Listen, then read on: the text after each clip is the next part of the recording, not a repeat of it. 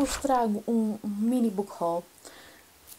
Uh, se me acompanham noutras redes sociais, por exemplo o Instagram, uh, viram que estive de férias durante uma, mais ou menos uma semana na Madeira e durante esse tempo acabei por ir uh, à FNAC e descobri três maravilhosos livros que trouxe comigo.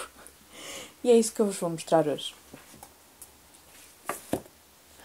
O primeiro livro é The Illustrated Man, do Ray Bradbury.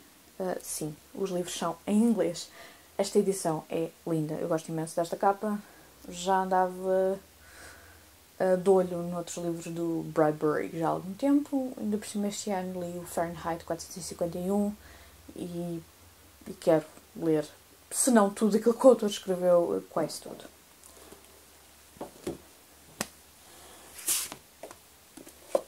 Descobri também um livro de uma autora que, do qual quero começar a ler mais e é a Ursula K. Le Guin e o livro é The Left Hand of Darkness. Nas edições que eu queria, que são estas edições mais antigas da Orbit. Portanto, foi mesmo. Eu vi e falei, pronto, este, este vai já para casa comigo. e por último, e talvez uh, aquilo que me deixou mais contente por ter encontrado foi um, um, livro do Neil Gaiman. Aliás, 2017 foi o ano em que comprei mais livros do Neil Gaiman. Este é um livro de contos e é o Trigger Warning Short Fictions and Disturbances.